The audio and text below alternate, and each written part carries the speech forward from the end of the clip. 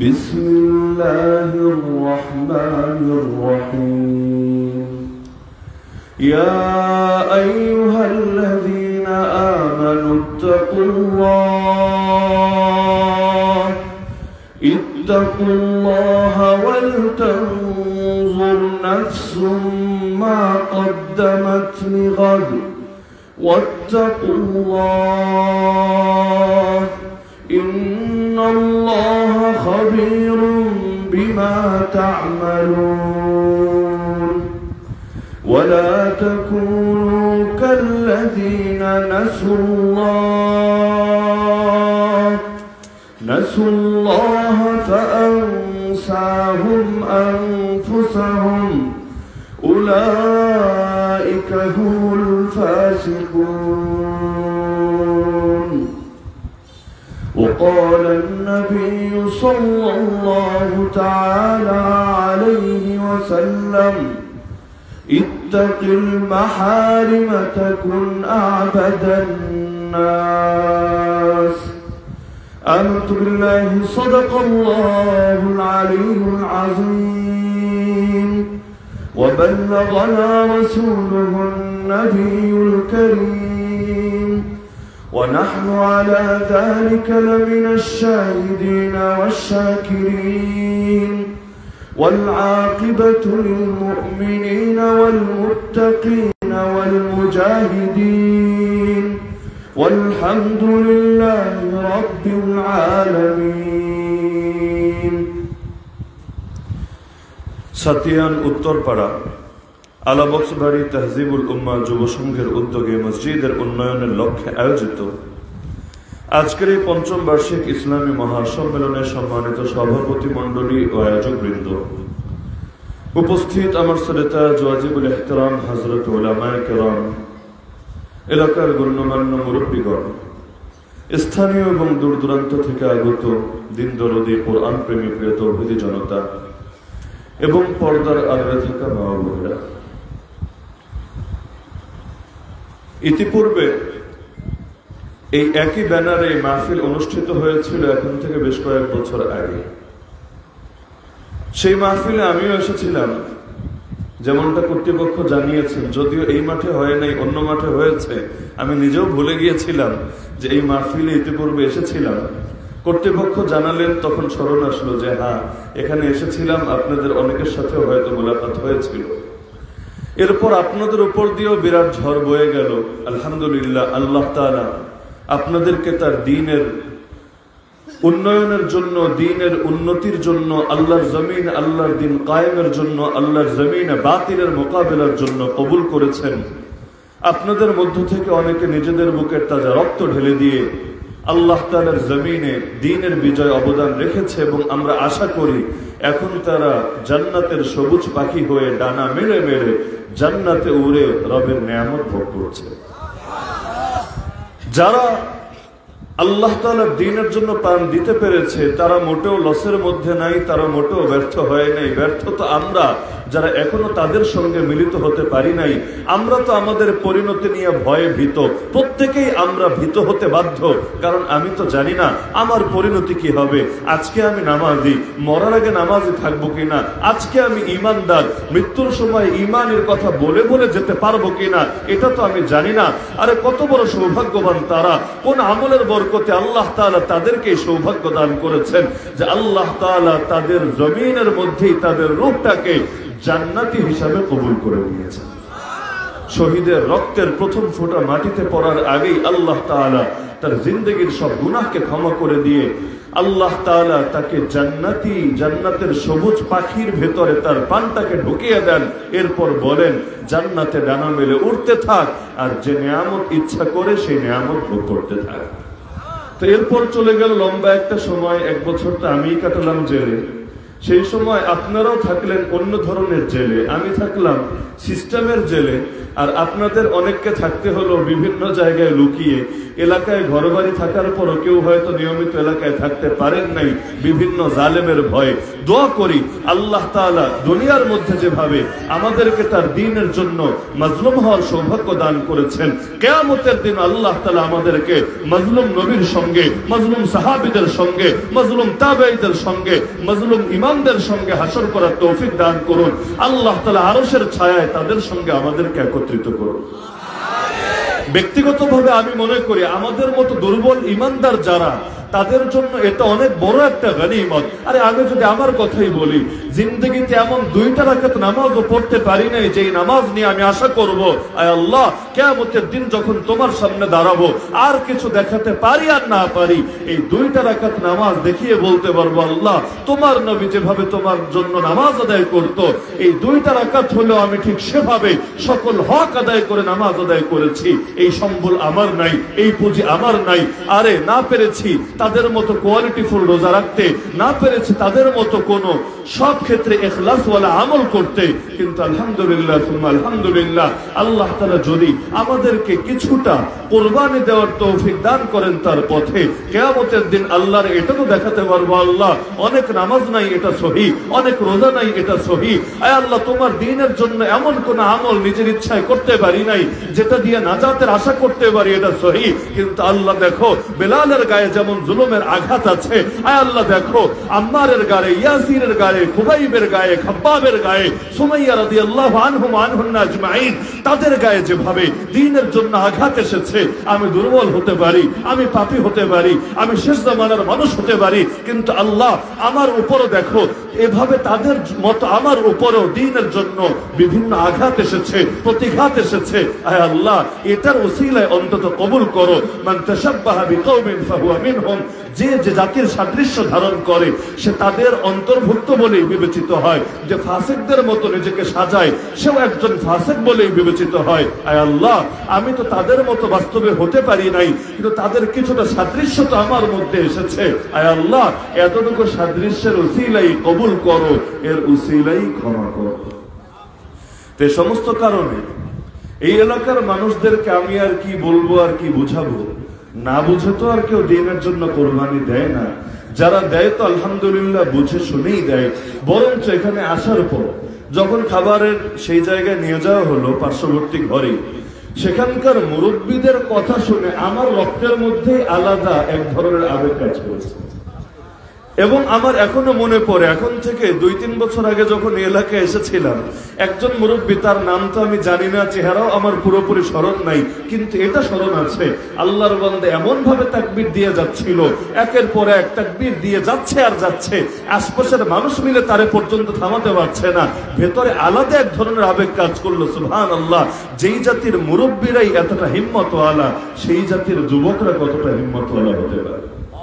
এমনি তোর ব্রাহ্মণ বাড়িয়ার নাম শহীদ বাড়িয়া হয় নাই। যদিও ব্রাহ্মণ বাড়িয়া বললে বাইরের লোক যে জানে না, সে ভাববে এখানে মনে হয় অন্য ধর্মের লোকদের আধিপত্য। কিন্তু যারা ভেতরের অবস্থা জানে, তারা জানবে, আরে, এখানে আল্লাহর দিনের সৈনিকদের আধিপত্য। আল্লাহর কাছে এটাই দোয়া করি, আল্লাহ এই হিম্মতকে আরও বাড়িয়ে দিন। আল্লাহ এই শহীদ বাড়িয়ার মাটি থেকে ইসলামের বিজয়ের ফয়সলা করুন। আল্লাহ তাআলা আপনাদের প্রত্যেককে যুগের খালেদ বিন ওয়ালিদ বানিয়ে দিন। তো যেই বিষয়ে আজকে আলোকপাত করার জন্য মূলত এখানে বসেছি, যদিও আবহাওয়া প্রতিকূল এবং সন্ধ্যা পর্যন্ত মাহফিল মাঠে হবে কিনা, এটা নিয়ে কেউই নিশ্চিত ছিল না। তারপরে কর্তৃপক্ষের হিম্মত মাসা আল্লাহ কোনো কিছুর সামনেই তারা বাধা মানে নাই, পরাজয় বরণ করে নাই। আল্লাহর উপর ভরসা করে কাজ শুরু করে দিয়েছে। আল্লাহ তালা তাদের দিলের আশা কবুল করেছেন। গতকালও এমন হালত হয়েছিল নাসির নগরে। মাহফিলে যাওয়ার আগ পর্যন্ত, বৃষ্টি, মাহফিল হওয়ার কিছুক্ষণ আগ পর্যন্ত আকাশে মুসলধারে বৃষ্টি হয়েছে, বাইরে করতে পারে নাই, মাদ্রাসার ভেতরেই মাহফিল করেছে। মাহফিলের সময়টা আলহামদুলিল্লাহ পুরোটাই আল্লাহ তাআলা বৃষ্টি মুক্ত রেখেছেন। যেই মাত্র বয়ান শেষ দোয়ার জন্য খালি হাতটা তুলবো, এমন সময় আবার মুসলধারে বৃষ্টি আমাদেরই বের হতে খবর হয়ে গিয়েছে। তা আল্লাহ তালার জন্য হিম্মত করলে আল্লাহ তালা বান্দাকে সাহায্য করেন এবং আল্লাহ তালা দুনিয়া এবং আখেরাতের সকল তরেই পার করার ব্যবস্থা করেন। তো যেই বিষয়ে মৌলিকভাবে আলোকপাত করব সেটা হলো, একটা বাস্তবতা মাঝে মধ্যে আমরা ভুলে যাই, সেটা হলো, যে কোনো জিনিসের পরিচয় তার নামে হয় না, তার কামে হয়। যদি এমন হয়, নাম বড় সুন্দর, কিন্তু কাম বড় পচা। তাহলে সেই জিনিসকে সাপোর্ট করার, সেটার পক্ষ অবলম্বন করার সুযোগ থাকে না। আবার যদি এমন হয়, নামটা বেশি সুন্দর না তো কামটা অনেক সুন্দর, তাহলে সেই ক্ষেত্রে শুধু নাম দেখে নাক ছিটকানো যায় না, বরং কামেরও মূল্যায়ন করতে হয়। যেমন ধরেন আমাদের যে কোনো হুজুরকে যদি আপনি জিজ্ঞেস করেন, ইসলামের মধ্যে সবচেয়ে গুরুত্বপূর্ণ বিষয় কি? আমি ইসলামের উপর চলতে চাই, অথবা কোনো অমুসলিম এসেই বলল, আমি ইসলাম ধর্ম গ্রহণ করতে চাই, আমার জন্য সবার আগে করণীয় কি? দুনিয়ার সব হুজুরে আপনাকে বলবে, তোমার সবার আগে করণীয় আকিদাকে বিশুদ্ধ করা, সহি আকিদা গ্রহণ করা। আকিদা মানে হলো বিশ্বাস। তোমার আকিদাই যদি ভেজাল থাকে, তাহলে আমল তোমার যেমনই বানাও না কেন আমল তোমাকে আল্লাহর আজাব থেকে মুক্তি দিতে পারে না। আকিদা হলো শিকড়, আমল হলো ডালপালা, শাখা পোশাখা।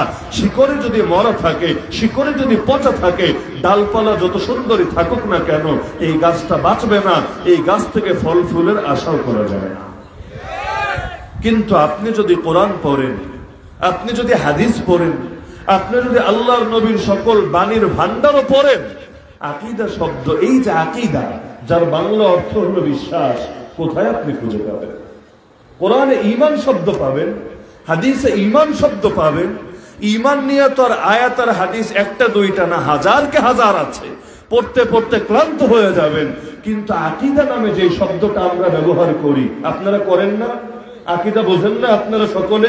এই যে আকিদা শব্দটা যে আমরা ব্যবহার করি, কোরআনের কোন আয়াতে পাবেন, আল্লাহ নবীর কোন হাদিসে পাবেন, সেই যুগে আকিদা শব্দটাকেই ইমানের প্রতিশব্দ হিসাবে ব্যবহার করা হতো। এই প্রমাণ কে দিতে পারবেন? আকিদা শব্দের ব্যাপক ব্যবহার শুরু হয়েছে। আল্লাহর নবী দুনিয়া থেকে যাওয়ারও কয়েক যুগ পরে প্রথম শতাব্দীতে আল্লাহ নবীর দুনিয়া থেকে যাওয়ার লম্বা সময় পরে আকিদা শব্দের ব্যাপক প্রচলন উন্মতের মধ্যে শুরু হয়েছে। এখন কেউ যদি বলে, আকিদা মানি বেদাত, আকিদা এই শব্দটা উচ্চারণই করা যাবে না, আকিদা যারা সহি করার কথা বলবে, যারা এটার দর্শ দিবে, যারা এটা সহি করার মেহনত করবে, এরা সকলে ভণ্ড, এরা সকলে বেদাতি, কারণ তারা এমন একটা জিনিসের পেছনে মেহনত করছে, যেটা কোরআনে নাই, যেটা হাদিসে নাই, যেটা নবী বলেন নাই, যেটা সাহাবিরা বলেন নাই যেটা এসেছে তাবেইদের যুগে, ইমাম আবু হানিফাদের যুগে, তাহলে তার কথার সঙ্গে কি আপনারা একমত হবেন?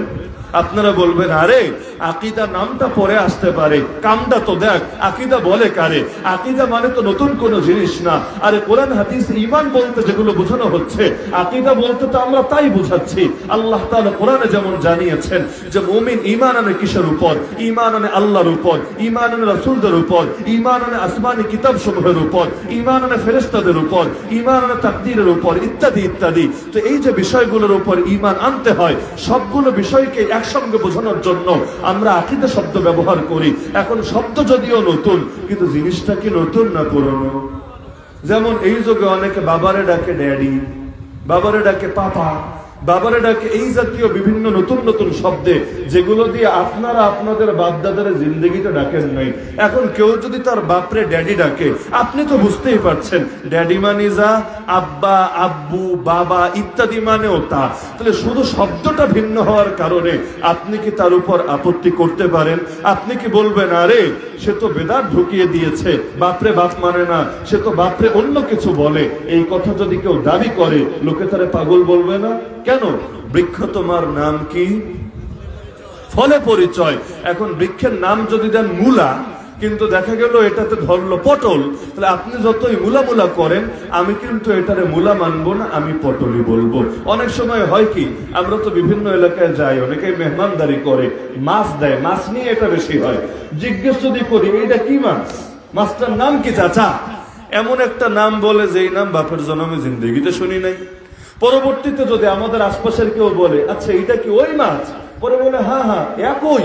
এক এক এলাকায় এক একটা বলে, আমরা আমাদের এলাকায় এটা বলি, আপনারা হয়তো আপনাদের এলাকায় ওইটা বলেন। দেখা গেল একই জিনিস, এলাকা ভেদে নামটা পরিবর্তন হয়ে যায়। আরে, বাংলায় বলে না যে কোনো এলাকার গালি, আর এক এলাকার বুলি। আমাদের এমন ক্লাসমেটও ছিল উত্তরবঙ্গের, আমরা দেখতাম যে ফোনে যখন বাড়িতে কথা বলতো, নিজেরা মায়ের সঙ্গে মারে তুই তুই তুই কইরে সম্বোধন করত। বেদবী হিসাবে এমন না, তাদের ভাষাটাই এমন। এমনকি আপনি কক্সবাজারে যান বা রোহিঙ্গাদের ভাষাই শোনেন রোহিঙ্গাদের যদি ভাষা শোনেন, দেখবেন কি এর আব্বা আর কি এর আম্মা, কি এর জামাই, আর কি এর মুরব্বী মানুষ, সবাই যে বলে তুই তুই তুই। বাকি এই তুই আর ছোট বাচ্চারে বলে তুই এ পার্থক্য আছে। ছোট বাচ্চারে যদি বলে তারা ডাইরেক্ট বলবে তুই। আর যদি মুরব্বী টাইপের বয়স্ক কাউরে বলে, চন্দ্রবিন্দু দিয়ে একটু নাকে নিয়ে বলবে গুন্নার সাথে, তুই তুই, একটু গুন্নার সাথে। তো এখন দেখা যাচ্ছে জিনিস একই। আপনি যদি যান, আপনি অবাক হবেন, কি রে? আব্বারে তুই কয়, পোলাটা দেখে আস্তা বেয়াদব। কিন্তু যদি ভাষা বোঝেন, বুঝবেন, বেয়াদব না? এখানে এটাই হল আদব। এখানে যদি আপনি বলে ভাববে, কি রে? তুই আবার বাঙালির খপ্পরে কবে বলবি তাহলে প্রত্যেক এলাকার আলাদা ভাষা আছে। তো মূল বিষয় নাম না, মূল বিষয় হলো কাম। এই যুগে এই বাস্তবতাটা না বোঝার কারণে ইসলামের বিভিন্ন জিনিস নিয়ে লোকে আলতো ফালতো আপত্তি তোলে। যেমন একটা সহজ উদাহরণ দিই, অতি সহজ উদাহরণ। যেটা শুনলে সবাই বুঝবেন আপনারা। এই বয়ান তো আপনাদের কানে আসার কথা অনলাইনে হোক আর অফলাইনে পীর মুরিদি হলো শিরিক, তাসাউফ মানে হলো সিরিকি শাস্ত্র। যারা পীর মুরিদি করে, সবগুলো হলো বেদাতি, সবগুলো হলো মুশরিক। এই বয়ান শোনেন নাই? এই কথা শোনেন নাই জিন্দগিতে? যদি না শোনেন, আমি বলব আপনারা মঙ্গল গ্রহ থেকে এসেছেন। এই রকম দাবি বাংলাদেশের অনেকে করে কিনা? আরে করে কিনা? অনেক বড় বড় ব্যক্তিত্ব পর্যন্ত এমন দাবি করে, পীর, মুরিদি মানে মুশরিক। আজকে আসার সময় শুনছিলাম গাড়িতে এক লোক দাবি করছে, তারে প্রশ্ন করেছে, বাইজিদ বোস্তামি সে কি আল্লাহর ওলি কিনা? সে জবাব দিয়েছে, না না, বাইজিদ বোস্তামি আল্লাহর ওলি না, বাইজিদ বোস্তামি শয়তানের ওলি। নাউজুবিল্লাহ যালিক। দলিল কি? দলিল দিয়েছে, বাইজিদ বোস্তামি একটা পীর, বাইজিদ বোস্তামি হলো তাসাউফ শাস্ত্রের জনক, সুতরাং বাইজিদ বোস্তামি কেমনে আল্লাহর ওলি হয়? সে তো শয়তানের ওলি, সে তো আস্ত ভণ্ড। তাহলে এই যে দেখেন, পীর মুরিদি শব্দটা, কোরআন হাদিসের কোথাও গিয়ে এভাবে পীর মুরিদ ইত্যাদি শব্দ খুঁজে পাওয়া যাবে। পীর শব্দ কি আরবি শব্দ নাকি? যে কোরআনে খুঁজবেন, হাদিসে খুঁজবেন, পীর শব্দ কোন ভাষার শব্দ? বলেন না, কোন ভাষা? ফার্সি। ফার্সি ভাষার শব্দ। ফার্সিতে পীর মানে কি? ফার্সিতে পীর মানে ঠিক তা, আরবিতে শেখ মানে ঠিক যা। আরবিতে বলে শেখ এটাই ফার্সি ভাষায় গেলে হয়ে যায় পীর। যেমন আপনারা যারা স্কুলে পড়ে কলেজে পড়ে ভার্সিটিতে পড়ে, মাদ্রাসায় পড়ে, ওদেরকে কি বলেন? যদি আমি জিজ্ঞেস করি, সবাই জবাব দিবেন, ছাত্র বলেন। মাদ্রাসার ছাত্র, স্কুলের ছাত্র, কলেজের ছাত্র, যারা ইংলিশ ভাষাভাষী, ওদেরকে যদি জিজ্ঞেস করেন, ওরা বলবে, স্টুডেন্ট। একই জিনিস গিয়ে আফগানিস্তানের যে কাউকে জিজ্ঞেস করেন, যারা মাদ্রাসায় পড়ে, ওরা কি? যারা স্কুলে পড়ে, ওরা কি? একই জিনিস। আপনার মতো করে তারা ছাত্র বলবে না, কারণ ওদের ভাষা বাংলা না।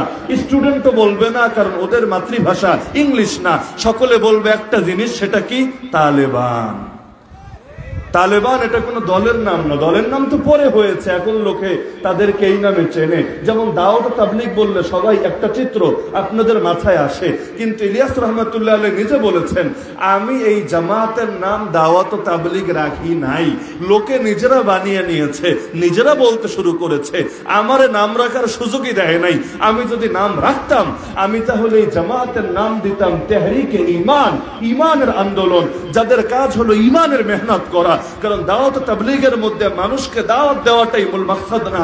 নিজের ইসলাহ করাটা মূল মাকসাদ। ইসলাহের জন্য সুরত হলো, তুমি আরেকজনকে দাওয়াত দাও। এই কারণে যারাই তাবলিগে বের হয়, তাদেরকে এটা বুঝিয়ে দেওয়া হয়। এই নিয়ে দাওয়াত দিও না যে তুমি হেদায়তের উপর বসে আছো আর দুনিয়ার সবাই জাহান্নামি হয়ে আছে। এখন মানুষের জাহান্নাম থেকে উদ্ধার করবা। বরং এই নিয়তে দাওয়াত দাও যে তুমি নিজেই গুমরাহের উপর ছিলা। এখন আরেকজনের দাওয়াতের উসিলায়। আল্লাহ যদি তোমার দিলটারে কবুল করে, কারণ বার বারবার বারবার বারবার বলতে বলতে নিজের জন্য করাটা সহজ হয়। আপনি যদি আসমানের দিকে কোনো বল বা ভারী বস্তু ছুঁড়ে মারেন, সেটা আসমানে চলে যাবে না। কিছু দূর যাওয়ার পর আপনার কাছেই ফিরে আসবে।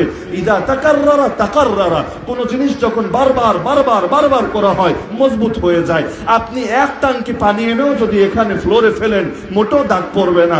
কিন্তু ওই যে ট্যাপ কল, যেগুলো দিয়ে উজু করেন, অনেক ট্যাপ দেখবেন বন্ধ করার পর ফোটা ফোটা ফোটা পানি পড়তে থাকে। দেখবেন ফোটা ফোটা পানি পরে নিচে দাগ হয়ে গেছে। পার্থক্য কোথায়? এক টাঙ্কি পানি দিলেও দাগ হয় না, আবার ফোটা ফোটা ফোটা পরেও দাগ হয়। পার্থক্য কোথায়? পার্থক্য একটা, একসঙ্গে অনেক হয়েছে, কিন্তু স্থিরতা থাকে নাই, এটা নিয়মিত হয় নাই। একবারে পড়েছে, আবার চলে গেছে।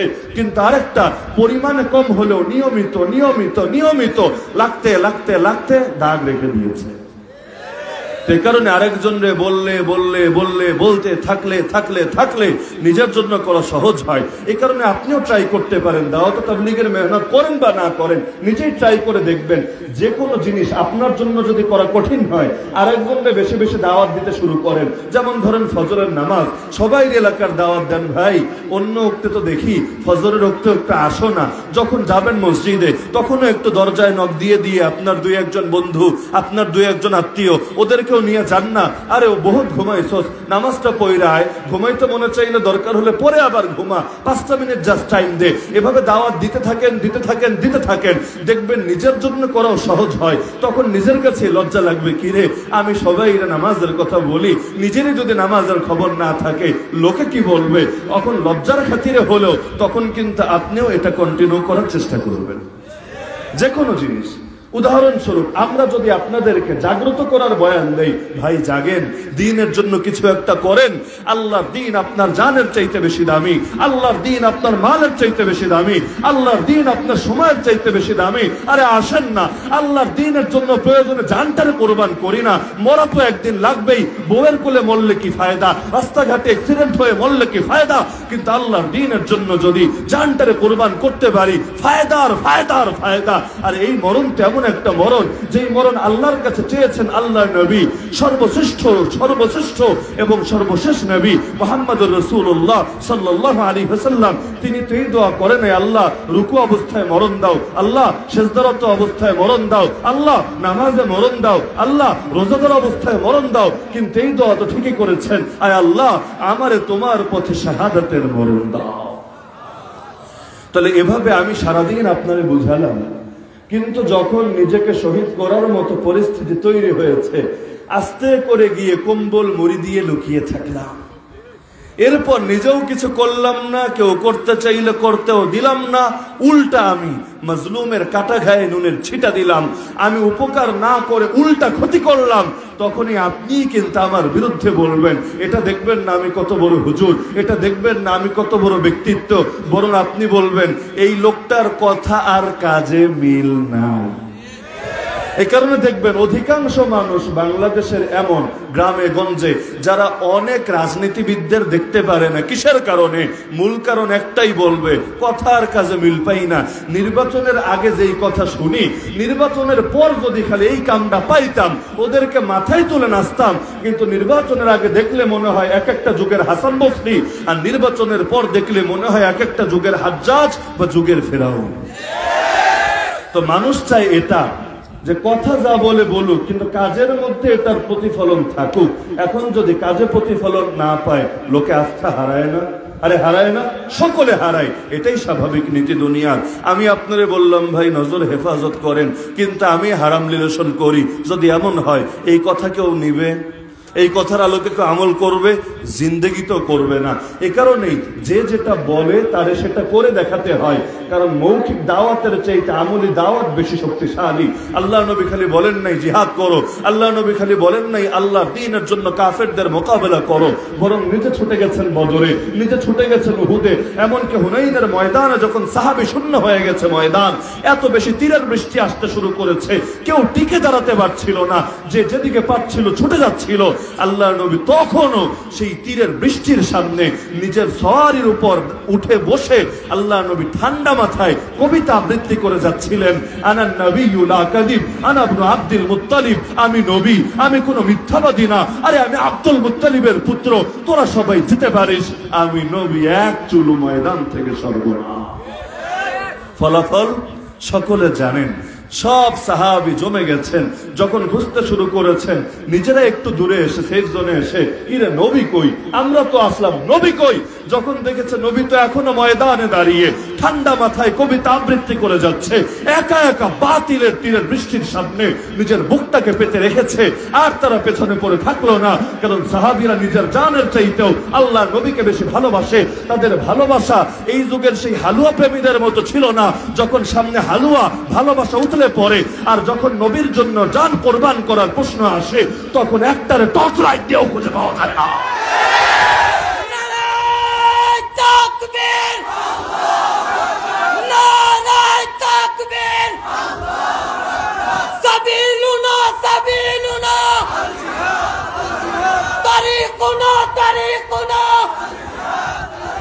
দিয়েছি তো রক্ত।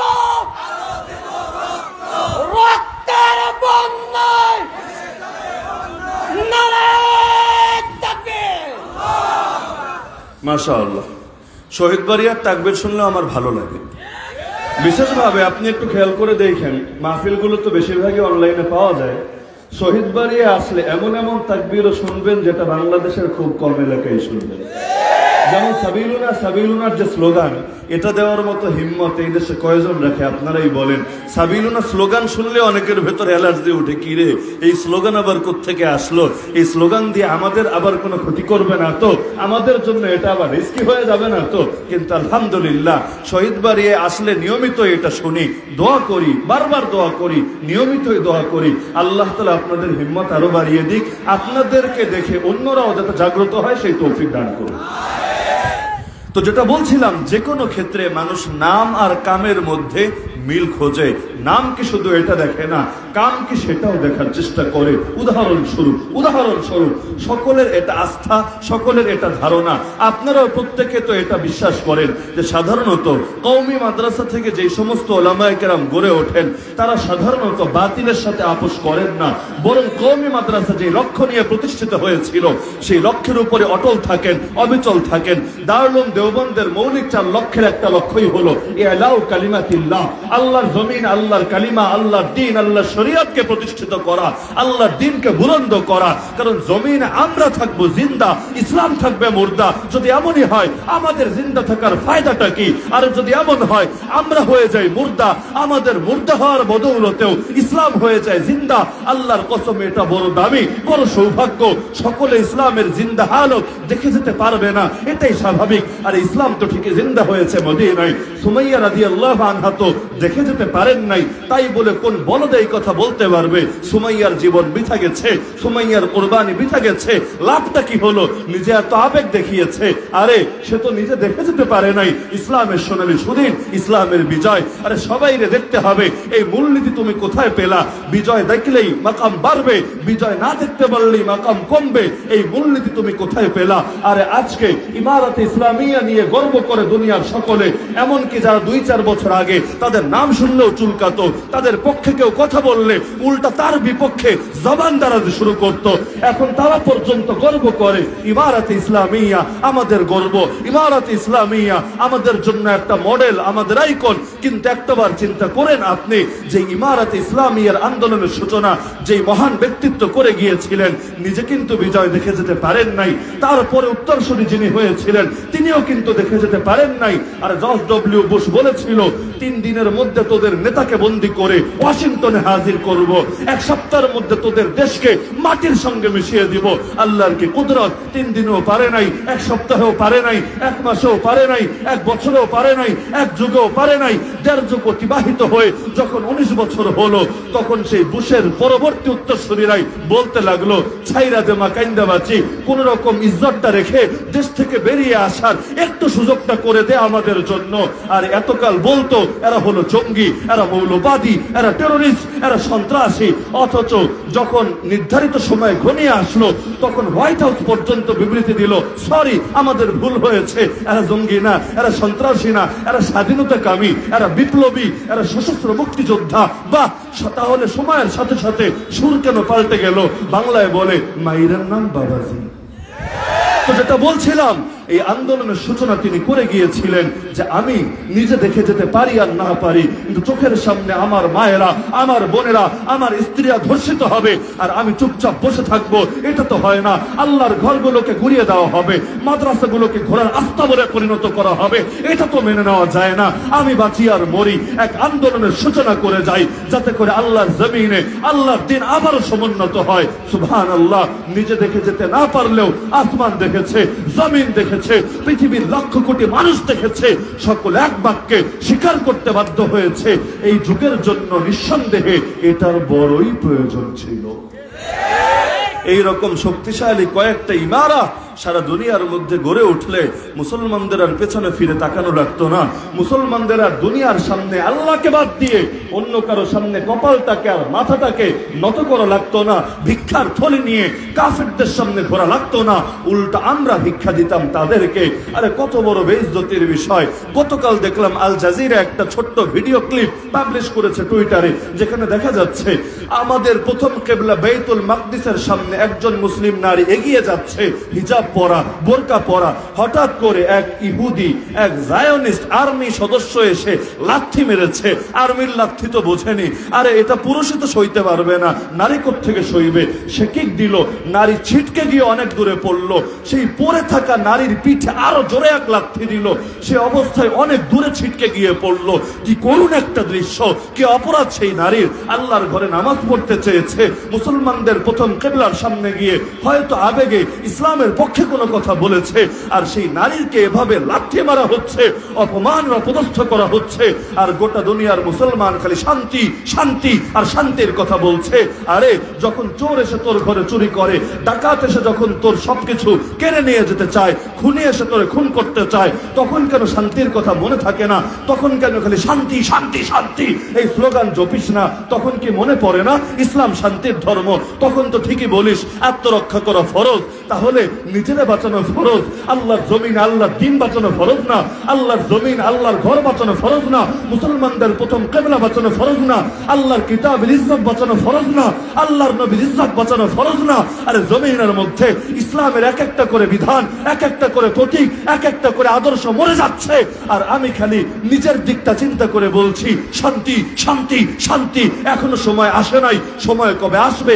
যখন তোর পিঠে লাঠি পড়বে, তখনই খালি সময় আসবে। আর জমিনের সব যদি বরবাদ হয়ে যায় তখন সময় আসবে না। আল্লাহর কসম, এটা মুনাফিকি ছাড়া আর কিছু না। মুসলমান, ইসলামকে শান্তি মানে কোনো সন্দেহ নাই। আমিও মানি, আপনিও মানেন, সবাই মানে। এ কারণেই জমিনের মধ্যে ইসলাম কায়েমের কথা বলে। ইসলাম যদি শান্তির ধর্ম হয় ইসলাম কায়েম হওয়া মানে তো শান্তি কায়েম হওয়া। যারা ইসলাম কায়েমের পক্ষে, তারাই হলো শান্তিকামী। আর যারা ইসলাম কায়েমের বিপক্ষে, ওরাই হলো শান্তিকামী আরে জমিনে যদি শান্তি প্রতিষ্ঠা করতে চান, শান্তির দুশ্মন যারা, আগে ওদের দফরফা করতে হবে, না হলে কখনোই জমিনে শান্তি প্রতিষ্ঠা করা যাবে না। ঘরকে যদি নিরাপদ বানাতে চান, ঘরে যাতে মশা না সেই ব্যবস্থা আপনারা করেন। সন্ধ্যা হলে জানালা লাগানো হোক কয়েল ধরানো হোক, স্প্রে করা হোক, কেন করেন এগুলো? আপনি কি আল্লাহর মাখলুকের দুশ্মন? আপনি কি জমিনের মধ্যে অশান্তি চান? আপনি কি প্রাণীদেরকে ভালোবাসেন না? জবাব হবে না। আরে নিজের নিরাপত্তা তো আগে নিশ্চিত করতে হবে, আত্মরক্ষা তো আগে অবলম্বন করতে হবে। বাংলায় বলে না, নিজে বাঁচলে বাপের নাম, নিজেই যদি মহিরা যাই, আব্বার নাম নিবে কেডা? এই কারণে দেখেন না, দুনিয়ায় সবাই নিজের আদর্শ ধরে রাখার জন্য বাচ্চা কাচ্চা রেখে যাওয়ার চেষ্টা করে। বাচ্চা যদি বাচ্চার মতো হয়, মরার বহুযুগ পরেও তার নামটা বাচ্চারা অমর রাখার চেষ্টা করে। তাহলে এই কথা যদি বাপের বেলায় বুঝেন, ধর্মের বেলায় বুঝবেন না দিনের বেলায় বুঝবেন না, শরীয়তের বেলায় বুঝবেন না, শরীয়তের মানটারেও তো প্রতিষ্ঠিত রাখতে হবে, শরীয়তের নিরাপত্তাটাও তো কায়েম রাখতে হবে, নিজের নিরাপত্তা সব ঠিক, শরীয়তের নিরাপত্তা সব শেষ, লাভ কি হবে? আরে, এক যুদ্ধ চলছে মুসলমান আর কাফেরদের মধ্যে, তুমুল যুদ্ধ। আল্লাহ নবী দুনিয়া থেকে যাওয়ার পরের কথা, সেই যুদ্ধে অনেক সাহাবিও শরিক হয়েছেন। যুদ্ধের মধ্যেই হঠাৎ করে এক কাফের আল্লাহ নবীরে নিয়ে যাচ্ছে, তাই গালিগালাজ করতে লাগল। উদ্দেশ্য কি? উদ্দেশ্য হলো মুসলমানদেরকে খেপিয়ে তোলা। কারণ জানেন আপনারা, রেগে গেলেন তো হেরে গেলেন। যদি আপনি রেগে যান, মাথা ঠান্ডা থাকে না। মাথা যদি গরম হয়, কৌশলগুলো ঠিকভাবে প্রয়োগ করা যায় না। তর্কের মধ্যেও যদি রেগে যান, তর্কে আপনি হারবেন। যুদ্ধেও যদি, মারামারিতেও যদি, কুস্তিতেও যদি আপনি রেগে যান, আপনি হারবেন। যত ঠান্ডা মাথায় কাজ করতে পারবেন, তত বেশি আপনার পরিকল্পনা নিখুঁত হবে, আপনার কৌশলগুলো শক্তিশালী হবে। এখন মুসলমানদেরকে খেপানোর জন্য সবচেয়ে সহজ প্রক্রিয়া, মুসলমানদের ভালোবাসার জায়গা ইমানের জায়গা, বিশ্বাসের জায়গা, আস্থার জায়গা, নবীর উপর অ্যাটাক দেওয়া। কারণ আল্লাহরে চিনেছেন, এই নবীর মাধ্যমে। কোরআন পেয়েছেন, এই নবীর মাধ্যমে মুমিন হয়েছেন এই নবীর মাধ্যমে। আপনার দুনিয়ার যত ধরনের যা কিছু হয়েছে, সবই তো নবীর মাধ্যমে। এখন আবেগের মূল জায়গায় আঘাত দিলে মুসলমান সবচাইতে বেশি জ্বলে উঠবে, এটাই স্বাভাবিক। আর যদি জ্বলে না ওঠে, এতে ওদের কোনো লস নাই। কারণ যেদিন নবীর ইজ্জতে আঘাত দেওয়ার পরও কোনো মুসলমান জ্বলে উঠবে না, সেদিন মুসলমানদেরকে নিয়ে ওদের আর চিন্তাও করতে হবে না। ওরা বুঝবে, সবগুলো পোষা কুত্তায় পরিণত হয়েছে। আর পোশাকুত্তা নিয়ে কোনো দুশ্চিন্তা করা লাগে না। পোশাক উত্তরে সময়ে সময়ে এখানে রুটি দিলেই খুশি। আর কিচ্ছু লাগে না। কিন্তু যতদিন পর্যন্ত দেখবে যে মুসলমান এই ব্যাপারে কোনো আপোষ করে না, ততদিন বুঝবে মার খেলেও, আহত হলেও, রোগা হয়ে পড়ে থাকলেও, বাঘ তো বাঘই, সিংহ তো সিংহই, কখন যে উঠে আমাদের ঘাড়ে অ্যাটাক করবে, কখন যে আমাদেরকে আমাদের প্রাপ্য বুঝিয়ে দিবে, এটা তো আর ঠিকঠাক করে বলা যায় না। এই কারণে দেখেন না কৌমি মাদ্রাসার আলেমরা বাস্তবিক অর্থে তো বড় নিরীহ, এটাই তো বাস্তবতা। আমরা সকলে নিরীহ না। কোন দিক থেকে আমরা এগিয়ে? না টাকা পয়সার দিক থেকে, না পদ পদবীর দিক থেকে, না রাজনৈতিক দিক থেকে, কোনো দিক থেকেই তো না। কিন্তু দেখেন, এই দেশের নাস্তিকরা সবচেয়ে বেশি কাদেরকে ভয় পায়। বলেন না আপনারা, কাদেরকে ভয় পায়? এই দেশের কথা বলেন, কাদেরকে ভয় পায়? কৌমি ওলামা একরামকে কেন কেন এদেরকে ভয় পায়? এরা কি বাঘ? এরা কি সিংহ? এদের হাতে কি বড় বড় নখ আছে যে তোদেরকে কুবলে খাবে? আরে কোন দিকটা আছে? এরা কি গুন্ডা পালে? এরা কি মাস্তান পালে? এরা কি তোদের মতো যে কথায় কথায় ধরে মানুষের পিটায়, মানুষের গায়ে হাত তোলে? এমনকি আইনকেও নিজের হাতে তুলে নেয়। এরকম আচরণ কবে কোন হুজুর এই দেশে করেছে? তারপরও কেন ভয় পায় জানেন? কারণ জানে, বাঘ যতই নিরীহ থাকুক, বাঘ যতই খাঁচায় বন্দি থাকুক, বাঘ তো বাঘই। আর সময় যদি আসে একবার যদি ঘুরে দাঁড়ায়, টিকে থাকানোর জায়গায় তো খুঁজে পাওয়া যাবে এ কারণে দেখেন না বাঘরা যদি অসুস্থ হয়ে হুইল চেয়ারে পড়ে থাকে, তবুও তাদের উপর দয়া করে না। বাঘরা যদি অসুস্থ হয়ে বিছানায় পড়ে থাকে, তবুও তাদেরকে মুক্তি দেওয়ার ফিকির করে না, কারণ জানে, বাঘ নিয়ে খেলা যায় না, আগুন নিয়ে খেলা করা যায় না। আরে, দেখতে শুনতে যত অসহায় মনে হোক না কেন, যদি একবার জ্বলে ওঠে, তাহলে তো আর সহজে নিভানো যায় না। আমার কথার সাথে একমত না দিব তো যেটা বলছিলাম, আল্লাহ নবী সাল্লামকে গালিগালাজ করে যাচ্ছে কাফে মুসলমানরাও তুমুল ভাবে লড়াই চালিয়ে যাচ্ছে। হঠাৎ এক সাহাবি চিৎকার দিয়ে বলে উঠল, ওই কাফের বাচ্চা কাফের! খবরদার, তুই আমার নবীরে গালি দিস না। অন্য কথা তোর যা বলতে মনে চায় বল! কিন্তু নবীর শানে আর দ্বিতীয়বার গুস্তাখি করার স্পর্ধা তুই দেখাস না।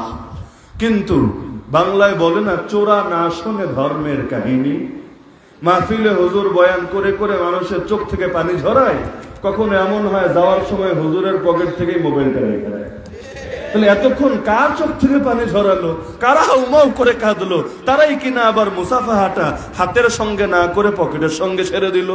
তাহলে চোরা না শুনে ধর্মের কাহিনী, সেই সাহাবি এত করে তারে বলছে, আরে চাইলে তো সে অন্য কোনো সুরত করতে পারে, একটু অন্তত চুপ হতে পারে, কিন্তু সবাই রেখে আর কথা দিয়ে বুঝ দেওয়া যায়, ওই যে আসাদ নুররাই ধরেন, আপনারা কি ভেবেছেন? দু একটা বিতর্কে হারাবেন, ওরা চুপচাপ হয়ে যাবে। হ্যাঁ আপনি দেখাবেন, দেখো, ইসলাম বড় শক্তিশালী, ইসলামের যুক্তি আছে লজিক আছে আর্গুমেন্টগুলো বড় মজবুত। আপনি কি ভেবেছেন? ওরা থেমে যাবে, ওরা থামবে না। কারণ যে সংশয়গ্রস্ত হয়ে ইসলামের বিরুদ্ধে থাকে, ওর সংশয় দূর করলে সে হেদায়তের পথে চলে আসে। এ কারণে কোনো মুরতাদকেও যদি ইসলামী হুকুমত গ্রেফতার করে, তার তওবার জন্য রাষ্ট্রীয়ভাবেই তিন দিন সুযোগ দেওয়া হয়। রাষ্ট্রের সবচাইতে বড় বড় বাঘা বাঘা আলেমদেরকে এনে বোঝানোর ব্যবস্থা করা হয়। তার যত প্রশ্ন, যত সংশয়, সবগুলো নিরসন করার চেষ্টা করা হয়। এমনকি দেশের আলেম যদি না পারে, প্রয়োজনে দূর দূরান্ত থেকে আলেম আনা হবে, তবুও তার প্রত্যেকটা প্রশ্নের জবাব দেওয়া হবে।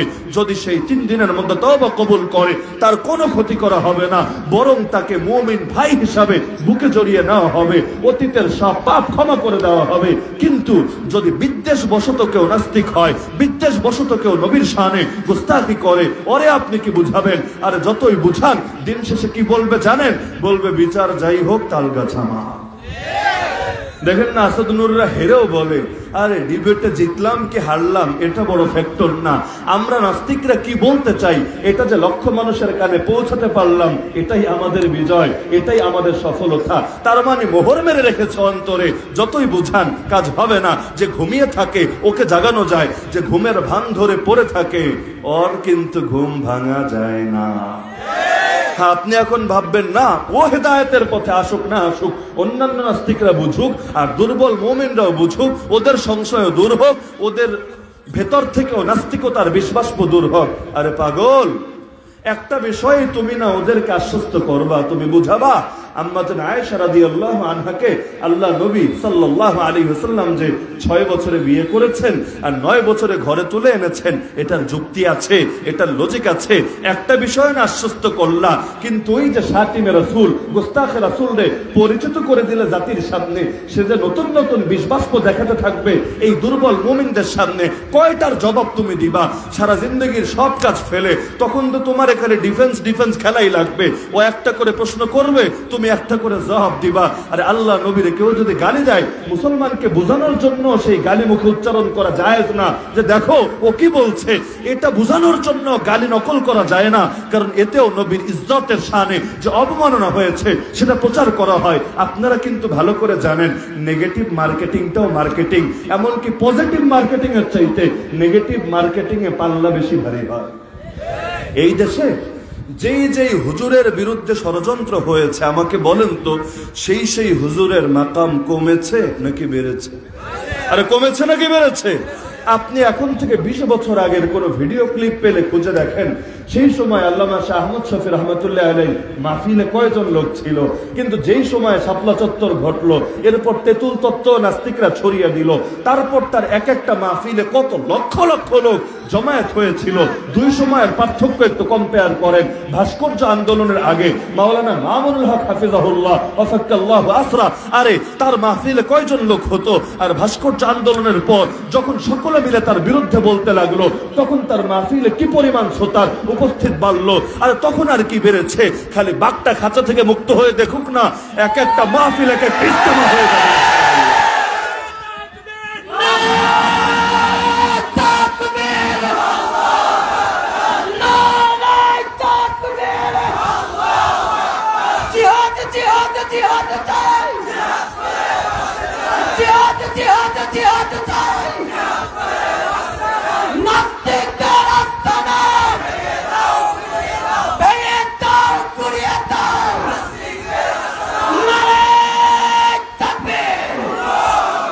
আমি একটা জিনিসই বুঝতে পারি নাই, এই আসাদ নুরের ডিবেটের ইস্যুতে একটা প্রশ্নের জবাব আমি আজও পর্যন্ত পাই নাই, সেটা হলো, সালাফি মানে হলো যে সালাফে সালেহিনের আদর্শের অনুসারী। আমার এখনও মনে পড়ে, ঢাকা এয়ারপোর্ট বিমানবন্দরের পাশে একটা মাহফিল অনুষ্ঠিত হয়েছিল।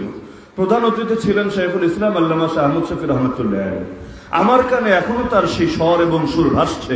তিনি বলেছিলেন আপনারা এখানে যারা উপস্থিত আছেন, সর্বদা গর্বের সঙ্গে বলবেন, আপনারাই সালাফি, আর সালাফের নাম যারা বেঁচে খায়, ওরা হলো খালাফি। খালাফি মানে আদর্শ ধরেছে পরবর্তীদের, নাম লাগিয়েছে পূর্ববর্তীদের। কিন্তু যারা আহলে সুন্নাতি ওয়াল জামাত, অর্থাৎ নবীর আদর্শ, সাহাবীদের আদর্শ আঁকড়ে ধরে, তারাই না আসল সালাফি। তো তিনি বলেছিলেন, আপনারা যারা বাস্তবেই আল্লাহর নবী, তার সাহাবি, তাবে তাবে, তাবের আদর্শের অনুসারী, কারণ সালাফ মানে মূলত এই তিন প্রজন্ম, সাহাবি, তাবে তাদের পথের পথিক যারা, আপনারা আসলে বাস্তবে সালাফি, তারা হলো খালাফি। আর আপনারা নিজেদের শানে এই শব্দ ব্যবহার না করার কারণে শব্দ চুরি হয়ে গেছে।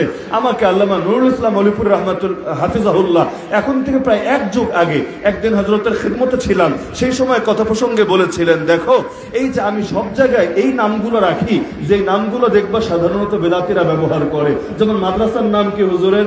নূরে মদিনা। দেখবেন সাধারণত কওমি মাদ্রাসার নাম কিন্তু এইরকম হয় না। কওমি মাদ্রাসার নাম হয়, ধরেন দারুল উলুম আল জামিয়াতুল ইসলামিয়া, মার্কাজু অমুক, মাহাদু অমুক, এই স্টাইলের নাম হয়। নূরে মদিনা মাদ্রাসা, এটা কিন্তু বাংলাদেশে কওমি মাদ্রাসায় খুব বেশি প্রচলিত না। হজরত বলেছিলেন, দেখবা, খেয়াল করলে আমার সব জায়গায় এই জাতীয় নাম। কেন জানো? শব্দগুলো তো পবিত্র, শব্দগুলো তো মহান, কিন্তু আমরা ব্যবহার না করার কারণে ওরা শব্দগুলোকে নিজেদের কুক্ষিগত সম্পদ বানিয়ে ফেলেছে। এই কারণে আমি বেশি থেকে বেশি থেকে, বেশি ব্যবহার করে এই বাস্তবতা প্রমাণ করতে চাচ্ছি। মদিনার প্রেম শুধু তোদের দিলে না হে পাগলা, মদিনার প্রেম তোদের চাইতে আমাদের দিলে বেশি আছে। আমরা নবীকে তোদের চাইতে বেশি ভালোবাসি, তাই বলে আমরা শুধু হালুয়া নিয়ে পড়ে থাকি না, নবীর জন্য প্রয়োজনে জান কোরবান করি। তো এই সমস্ত কারণে নাম, নামের রাজনীতি বড় কঠিন রাজনীতি। বাংলাদেশে কত ভণ্ড পীর নাম বেচে খায়। কে খায় না? যে যত বড় ভণ্ড, সে নাকি তত বড় পীর সুহান আল্লাহ এমন এমন ভণ্ড, আপনি তার বিরোধিতা করবেন, যেহেতু নামটারে আগে দখল করেছে। এখন বলবে, দেখেছ, ছেলেটা পীরের বিরোধী। পীরের বিরোধী মানে নবীর বিরোধী। নবীর বিরোধী মানে আল্লাহর বিরোধী। তাহলে আর মুসলমান থাহে কেমনে? পোলাটা কাফের হয়ে গেছে। না এভাবে সমাজের মধ্যে প্রচলন ঘটানো হয়। বেদাতিদের নিয়ে কথা বলার চাইতে কঠিন বাস্তবতা এই দেশে মনে হয় কম আছে। এটা তারা বুঝবে যারা বেদাতি এলাকায় বা তার আশপাশে থাকে, আপনারা বুঝবেন। আপনারা শহীদ বাড়িয়ার মানুষরা বুঝবেন। এই যুগের বাচ্চারা কম বুঝলেও যারা একটু মুরব্বী শ্রেণির আছেন, আপনারা বেশি বুঝবেন। দেখবেন, যে যত বেশি বেদাতিদের বিরুদ্ধে শক্ত অবস্থান নিয়েছে, তাকে তত বেশি কোরবানি দিতে পেরেছে বাংলাদেশের বরেণ্য বরেণ্য আলেম নাম নিয়ে ইতিহাস শোনাতে পারব। এমন এমন আলেমদের সামনে এমন এমন জঘন্য বেয়াদবি করেছে, যেগুলো ভাষায় প্রকাশ করার মতো না। আপনি, আমি আমার নিজের হালতে শুনাই, ধরেন, নাস্তিকদের বিরুদ্ধে তো কথা কম বলি নাই, ইসলামের দুশ্মন একেবারে কাফেরদের মধ্যে যারা, ওদের বিরুদ্ধেও তো কথা কম বলি নাই, কিন্তু সবচাইতে বেশি আমাকে ভেজাল পোহাতে হয়েছে, যেই কয়টা শ্রেণির দ্বারা এর মধ্যে অন্যতম হলো বেদাতি গোষ্ঠী। এমনকি ফেব্রুয়ারি মাসের পরে, এখন তো সেপ্টেম্বর, তাহলে ফেব্রুয়ারি থেকে সেপ্টেম্বর, গ্যাপটা তো কম না, আধা বছরের বেশি সময়। এত লম্বা টাইম ধরে আমি আমার মসজিদে জুমা নামাজ পড়াতে পারি না। বলবেন, এটা কেন? কি হয়েছে সেখানে? কিছুই হয়নি। আমি যেই সময় আগের ভিডিওগুলো দেখলে আপনারা পাওয়ার কথা, দেখবেন মসজিদ নির্মাণাধীন, কাজ চলছিল। পেছনে টিনের একটা স্তর দেওয়া, কারণ আগেরটা ভেঙে নতুন করে কাজ শুরু হয়েছিল। আমি জেলে যাওয়ার আগে কাজ চালু করে দিয়েছিলাম। জেলে যখন ছিলাম, কাজের গতি অনেকটাই কমেছিল। আসার পরে আবার আলহামদুলিল্লাহ, মানুষ যখন যখন জুটতে শুরু করেছে, কাজ আবার গতির সাথে শুরু হয়েছে।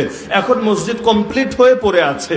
কমিটি সর্বাত্মক চেষ্টা চালাচ্ছে যে এই কথা বলে যে, হুজুররে না দিয়ে আমরা মসজিদ উদ্বোধন করাবো না। যেহেতু উদ্যোগও তার হাতে, শুরু থেকে সব জিনিসের সঙ্গে তিনি জড়িত। এমনকি কারাগারে যাওয়ার আগে প্রথম যেদিন উদ্যোগ হয়, কমিটির মিটিং এ এক মিটিং এর মধ্যে পঁয়ত্রিশ লক্ষ টাকা কালেকশন করে দিয়েছে, আলহামদুলিল্লাহ। সেখানে এক মিটিং এ এটা হয়ে গেছে। আর পরবর্তীতে আমাদের আরও যে টার্গেটগুলো ছিল, অনেকগুলোই পূরণ হয়েছে। তো এখন কাজ শেষ, কমিটিরও দিনের আশা। হুজুররে ছাড়া আমরা উদ্বোধন করব না। আর এদিকে তারা রাজনৈতিক আর প্রশাসনিক দুই ধাক্কাও মোকাবেলা করতে পারছেন না। কারণ রাজবাড়ির অবস্থা যারা জানেন তো জানেন, যারা জানেন না, প্রয়োজনে সরেজমিনে যাচাই করে দেখতে পারেন। সেখানকার মূল ধারাটাই হলো বেদাতি। আপনাদের এলাকার বেদাতিদের মতো। এই রকম সফট বেদাতি না। আরে আপনাদের বেদাতিও কট্টর, এর চাইতে হাজার গুণ বেশি কট্টর। যারা তাদের বিরোধিতা ন্যূনতম আকারে সইতে পারে না। জাস্ট একটা বয়ানকে। তাও বয়ানটা ছিল যেদিন ছড়ানো হয়েছে তার তিন চার মাস আগে, কিন্তু চোদ্দই ফেব্রুয়ারি বাংলাদেশ থেকে একটা ট্রেন যায় বিদেশে। বিদেশে মানে ভারতে, তাদের ওরস শরীফে। এবং সেটার ভিডিও ইউটিউবে খুঁজলে আপনারা পাবেন। তারা সেখানে গিয়ে সাক্ষাৎকার দেয়, আমাদের এই দয়াল বাবার কবরে আসা হজে যাওয়ার চাইতেও বেশি পবিত্র। আল্লাহর ঘরের চাইতে আমাদের পীর সাহেব, তারা বলে মৌলা পাক, আমাদের মৌলা পাকের রওজার দাম বেশি। এমনকি অনেকে তো এটাকে যাওয়াকেই জীবনের সবচাইতে গুরুত্বপূর্ণ এবাদত মনে করে। আরও যত ধরনের শিরিক আছে, পীরকে সেজদা দেওয়া থেকে শুরু করে মরার পরে বুকের মধ্যে একটা সাজারা পাক দিয়ে দেয়। সাজারা পাক বুঝেন, এখানে পীরের সিলসিলা দেওয়া আছে। এটা দেখলে নাকি ভয় পেয়ে আমুনকার নাকিরা আসে না। কারণ সারের লোক তো সারের লোকটা ডিস্টার্ব করলে পরে চাকরি থাকবে নাকি আবার? যারে তারে তো প্রশ্নটা আওতায় আনা যায়। না। এই জাতীয় ভয়াবহ ভয়াবহ আকিদা। তা আমি বয়ান করেছিলাম নভেম্বর বা ডিসেম্বরের দিকে সিলেটের সুনামগঞ্জের সাল্লায়। সেটাও বেদাতি এলাকা। কথা প্রসঙ্গে বলতে গিয়ে শুধু একটা কারগুজারি শুনিয়েছিলাম। চোদ্দই ফেব্রুয়ারি রাজবাড়ির একটা ছেলে, একেবারেই বাচ্চা ছেলে, সম্ভবত কলেজে পড়ে। সে সেই ট্রেনের ভিডিওর সঙ্গে মিলিয়ে আমার এই ক্লিপটাকে ছেড়ে দিয়েছে। রাতারাতি পুরো রাজবাড়ি সবার কাছে ভাইরাল। এরপর তো উঠে পড়ে লেগেছে, আরে হুজুর, আমাদের বদনাম করছে? আমরা বেদাতি, আমাদের নাকি ইমান ঠিক নাই, এই কথা বলছে, তাহলে ওনারে আমরা দেখে ছাড়বো। আমি কিছুই জানি না। এখন জুমার দিন গেলাম নামাজ পড়াতে ঢাকা থেকে। এখন গেলাম মসজিদে যাওয়ার আগেই আমার একজন বলল, হুজুর, গাড়িটা মসজিদের আশপাশে নিহেন না। মনে হচ্ছে গাড়িটারই আজকে ভেঙে দিতে পারে। অবস্থা তো খুব করুন এবং আপনার জানেরও আজকে ঝুঁকি আছে। আপনি না গেলে মনে হয় ভালো হয়। আমি বললাম, এত দূর এসেছে, না গিয়ে কি আর থাকব? আর জানের ঝুঁকি নিয়ে আমরা সর্বদাই ঘুরি। যা মনে চায় তা করুক গিয়ে। তারপর নিরাপত্তার খাতিরে গাড়িটা পাঠিয়ে দিলাম। মোটর সাইকেলে করে জমা পড়ালাম। জমার আগেই পুলিশের লোক এসে কানে কানে বলছে, হুজুর, কি হয়েছে আপনি তো জানেনই। আমি বললাম, না, আগে জানতাম, না, এখন হালকা পাতলা শুনলাম। বলল যে, পুরো রাজবাড়ি তো গরম হয়ে গেছে, এখন আল্লাহর হস্তে বেদাতিদেরকে নিয়ে কিছু বইলেন। নেই শব্দই, বেদাতিদেরকে নিয়ে কিছু বইলেন না, বাকি যা মনে চায় তা বলেন গিয়া। তো এখন আমি আমার স্বাভাবিক গতিতে বয়ান শেষ করলাম। বয়ান শেষ করার পরে এবার এসপি অফিসে ডাক পড়েছে যে, হুজুর, একটু সাক্ষাৎ করতে আসতে হবে। আমি বললাম, আমি তো ময়মনসিংহের পথে আধা পথ চলে এসেছি, এখন তো আর সম্ভব না, বেঁকে যাওয়া। রাতে মাহফিল আছে আমার। বলল, আগামী সপ্তাহে তাহলে আইসেন। এদিকে কমিটি জানালো, হুজুর, এটা কিন্তু চা খাওয়ার দাওয়াত না, এটা কিন্তু অন্য দাওয়াত। আপাতত আপনার আসার দরকার নাই, আমরা দেখছি কি করা যায়। তখন কমিটির প্রভাবশালী অনেক ব্যক্তিত্ব আছে, যেহেতু কেন্দ্রীয় মসজিদ। একটা জেলার কেন্দ্রীয় মসজিদ কেমন হয় সেটা তো বোঝারই কথা। তারাও সর্বাত্মক চেষ্টা চালিয়েছেন, কিন্তু সেখানে তাদের পাওয়ারের চাইতে বেদাতিদের পাওয়ার অনেক বেশি। সংখ্যাগরিষ্ঠ ভোটও তাদের হাতে। এই কারণে রাজনৈতিক ক্ষমতাসীন যারা, এরাও ওদেরকে মেনে চলে। আর প্রশাসন তো আর রাজনৈতিক মূল নেতাদেরকে বাদ দিয়া কাজ করে না। ওখান থেকেও সিগন্যাল চলে এসেছে। সব মিলিয়ে এমন একটা অবস্থা। আমি তো লম্বা একটা সময় রাজবাড়ি যেতেই পারি নাই। নামাজ পড়ানো পরের কথা। যেতেই পারি নাই, ঢুকতেই পারি নাই। তো সেই রকম হালতে একটা তুমুল দাঙ্গার মতো অবস্থা। চলতে চলতে চলতে লাস্ট পর্যন্ত এসে সফট হয়েছে। কিন্তু এখনও পর্যন্ত কমিটি এটা রাজি করাতে পারে নাই যে, হুজুর এসে আমাদের এখানে নামাজ পড়াবে। কিন্তু আমার কাছে নিয়মিত মাদ্রাসায় গেলে দেখা করে, হুজুর, আল্লাহর ওয়াস্তে অন্য কোনো মসজিদে ওয়াদা দিয়েন না, অন্য কোনো মসজিদে ঢুকেন না। যে বীজ আপনি লাগিয়েছেন, এখান থেকে চারা তো বের হতে হবে। আলহামদুলিল্লাহ, আপনাদের মেহনতে কয়েক হাজার মানুষ পরিবর্তন হয়েছে। বেদাত ছেড়ে শূন্যতের পথে এসেছে। এখন যদি হাল ছেড়ে দেন, তাহলে মিশনটা তো অসম্পূর্ণ এবং সাকসেসফুল ছাড়া থাকবে। সুতরাং আল্লাহর ওয়াস্তে আপনি একটু হিম্মতের সঙ্গে থাকেন, একদিন না একদিন ইনশা আল্লাহ আমাদের বিজয় আসবে আসবে। আমিও দোয়া করে দিয়েছি, আল্লাহ যারা বেদাতের পক্ষে আছে, তুমি তাদের জন্য যথেষ্ট হয়ে যাও। এই যে এত মাসে, আমি কোথাও কারগুজারিও শুনেই নাই। কথা প্রসঙ্গে আসলো বলে এটা শুনালাম যে আল্লাহ, তুমি তাদের জন্য যথেষ্ট হয়ে যাও। আর যারা ক্ষমতাকে কাজে লাগিয়ে বেদাতের পক্ষাবলম্বন করতে গিয়ে আহলু সুন্নাতিওয়াল জামাতকে দমিয়ে দিতে চায়, আল্লাহ, তুমি ওদেরকে দমিয়ে দাও। ক্ষমতার গর্বকে চূর্ণ বিচূর্ণ করে দাও। আর যারা সুন্নাতের জয়গান গায়, জমিনের মধ্যে সুন্নত এবং আহলে সুন্নাতের বিজয় চায় তুমি তাদেরকেই ক্ষমতায় আনো। এখনও পর্যন্ত আশায় আছি, আল্লাহ তালা দোয়া কবুল করবেন ইনশাআল্লাহ। কারণ মজলুমের দোয়া আল্লাহ ফিরান না, মুসাফিরের দোয়া আল্লাহ ফিরান না। সুতরাং দিলে এখনও আশা রাখি, আল্লাহ তালা আমাদের দোয়াও ফিরাবেন না ইনশাআল্লাহ। তো যেটা বলছিলাম বেদাতিদের বিরুদ্ধে কথা বলার ভাই যে কত বেশি কষ্ট, অলিপুরে সাহেবকে গিয়ে জিজ্ঞেস করেন। বাংলাদেশের আরও বরেণ্য ব্যক্তিবর্গ যারা আছে এক একজনকে গিয়ে জিজ্ঞেস করেন, আরে, গত বছর মাহফিলে গেলাম, অলিপুর বাজারের মাহফিল, বুঝেন তো? যেই জায়গার নামকে কেন্দ্র করে তিনি হয়েছেন অলিপুরি। অলিপুরি কি তার নাম? নাম তো নুরুল ইসলাম। অলিপুরে তো নাম না। অলিপুরে বাড়ি বলেই তো নাম হয়েছে অলিপুরি। অলিপুর বাজারের তাফসির মাহফিলে গেলাম, আমি গিয়ে তো অবাক এখানে লেখা প্রথম বার্ষিক তাফসিরুল কোরআন মাহফিল। আমি অবাক হয়ে গেলাম। সেই মাহফিলেও শুনলাম ভাই আমরা তাফসিরের কিতাব পড়েছি পরে। তাফসির চিনেছি আগে। আমরা ছোটবেলায় তাফসির চিনেছি নুরুল ইসলাম মলিপুরি সাহেবের বরকতে। সিলেটে ছিলাম। একেবারে যখন আমরা দুনিয়াটারে ভালো করে চিনতে শিখি নাই, তখনই বাবার হাত ধরে গিয়ে তার মুখ থেকে সুরা ইউসুফের তাফসির শুনেছি। আপনারাও হয়তো অনেকে শোনার কথা, সেই সুরা ইউসুফের তাফসির দীর্ঘকাল পর্যন্ত সিলেটের আলিয়া মাঠের তাফসির মাহফিলে তিনি করে গেছেন। তাফসির চিনলাম যারে দিয়া, তার এলাকায় এতকাল পরে প্রথমবার শেখ তাফসির মাহফিল, তাও আবার হুজুর নাই, আমরা মেহমান, কিন্তু হুজুর নাই। এটা কেমনে বলল, হুজুর, এই এলাকার অবস্থা বড় করুন। বেদাতির এত কট্টর অবস্থানে এখানে। এখানে হুজুরে কোনোভাবে ঢুকতেই নেই এখানে এসে হুজুর মাহফিল করবে, এটা সম্ভবই না। আমি মাহফিলও বলে এসেছি, ইনশাআল্লাহ। একদিন হুজুররে নিয়ে এখানে আমরা মাহফিল করব। তো বেদাতিদের বিরুদ্ধে বলা সহজ না কঠিন? সহজ না কঠিন? কথায় কথায় বানিয়ে দেয় নবীর দুশ্মন, কথায় কথায় বানায় দেয় ওয়াহাবি, কথায় কথায় বানায় দেয় খারেজি। সুবহান আল্লাহ কেমনে আমরা ওয়াহাবি? কেমনে আমরা খারেজি? আমরা খারেজি আর তোমরা দাখেলি। কিসের ভিত্তিতে? ভিত্তি কিচ্ছু নাই। নতুন নতুন আকিদা বানাবে আর তার আকিদার বিরোধিতা যারা করবে সব নাকি নবীর দুশ্মন। নাউজুবিল্লাহ মিন যালিক। তো যেটা বলছিলাম যে বৃক্ষের নাম কি সেটা মুখ্য না? কাম কি? এটা হলো মুখ্য। এখন কোন ব্যক্তির নাম যদি হয় পীর, কামে যদি হয় ভণ্ডামি, তাহলে তার পীর মানা যাবে না ভণ্ডই মানতে হবে? কি মত আপনাদের? পীর মানতে হবে না ভণ্ড মানতে হবে? আরে, ইমাম সাহেব, মনে করেন, মক্কার ইমাম সাহেব, অনেক দামি ব্যক্তিত্ব এসার নামাজে ইমামতি করছেন। আপনারা সবাই সেখানে মুসল্লি, শহীদ বাড়িয়ার মুসলমানরা। এসার নামাজ কয় রাগাত নাকি একতলাফ আছে? আবার? একতলাফ আছে নাকি? কয় রাগাত? চার রাগাত। ইমাম সাহেব তিন রাগাত পরে বসে গেলেন। আর তাহিয়াত পড়া শুরু করে দিলেন। আপনারা শহীদ বাড়ি আর সাধারণ মুসলমান, বাঙালি মুসলমান, আরবের লোক না। আপনারা কি চুপচাপ বসে থাকবেন না লুকমা দিবেন? কি বলেন আপনারা, চুপ করে বসে থাকবেন নাকি লুকমা দিবেন? নাকি এটা চিন্তা করবেন, সুবহানাল্লাহ, কাবার ইমাম? মক্কার ইমাম, আমি তার ভুল ধরবো, এটা কি হয় নাকি? বরং আপনি বলবেন, না না, ভুলের ক্ষেত্রে কেউ অনুসরণীয় হয় না। নবী রসুলের বাইরে আমরা কেউ ভুলের উঠে না। ভুল তো হতেই পারে, এটা মানুষের সামনে বহির্ভূত না। ভুলের কারণে আল্লাহ তালা পাপও তো দেন না। নবী জানিয়েছেন, রুফিয়ান উম্মতি আল নিসিয়ান আমার উম্মত থেকে আল্লাহ ভুল, ভুলে যাওয়া বা ভুল করার গুনাহকে উঠিয়ে নিয়েছেন। এর জন্য গুনাহ হবে না। এমনকি কেউ যদি ফজরের নামাজ এ কারণে উঠতে না পারে অ্যালার্মও দেওয়া, মানসিক প্রস্তুতিও আছে। নিয়ত কামেল, কিন্তু টেয়ারি পায় নাই, এত বেশি ঘুম টাইম মতো উঠতেই পারে নাই। এরপর তার ঘুম ভাঙলো, গিয়ে ধরেন সাতটার সময়। উঠে সেই সময় সে নামাজটাকে কাজা করে ফেলল। দুনিয়ার কে বলতে পারবে, সে ফাসেক হয়ে গেছে, কবিরা গুনাহে লিপ্ত হয়েছে। এমনকি হাম্বলি মাঝহাবের যারা এই ফতোয়া দেয় ইমান ভেঙে যাবে, নামাজ ছেড়ে দিলে, তারাও এই ব্যক্তির ক্ষেত্রে বলবে না, সে কাফের হয়েছে, সে মুরতাদ হয়েছে। বরং বলবে, আল্লাহ তাআলা তার নিয়তের কারণে ক্ষমা করে দেবে ইনশাআল্লাহ। তাহলে ভুলের ক্ষেত্রে কেউ অনুসরণীয় হয় না।